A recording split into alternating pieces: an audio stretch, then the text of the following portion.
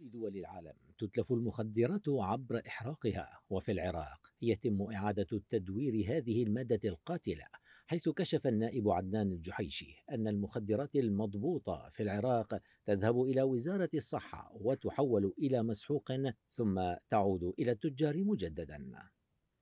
مراقبون يرون أنه أمر ليس بالغريب في بلد بات يغرق بالمخدرات وتهريبها عبر إيران المتحكمة بكافة مفاصل الحياة داخل العراق من خلال ميليشياتها والأحزاب الولائية المتحكمة بالعراق بعد عام 2003 وفي هذا الخصوص المح العديد من المسؤولين في العراق إلى عدم تعاون إيران فيما يخص مكافحة هذه الآفة.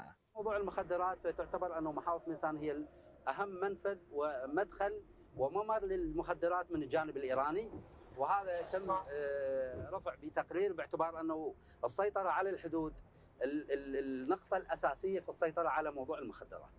بلغة الأرقام ازدادت نسبة متعاطي المخدرات في المحافظات القريبة من الحدود الإيرانية إذ كشفت لجنة حقوق الإنسان النيابية عن وجود مناطق رخوة مع أربع دول مجاورة للعراق تسببت بانتشار المخدرات كما ارتفع عدد المدمنين على المواد المخدرة بين الشباب العراقي إلى 5% مقارنة مع العام الماضي بحسب إحصائية لوزارة الصحة.